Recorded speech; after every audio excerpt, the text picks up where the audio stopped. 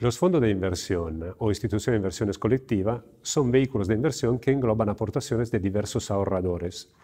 Con este patrimonio, los gestores compran diversos activos, renta fija o renta variable, dependiendo de la naturaleza del fondo, eh, permitiendo a los inversores de acceder a mercados donde normalmente no podrían acceder. Además, los fondos están fuera del balance del banco y esto hace que, en caso de quiebra de la entidad, el patrimonio del cliente no se vea afectado.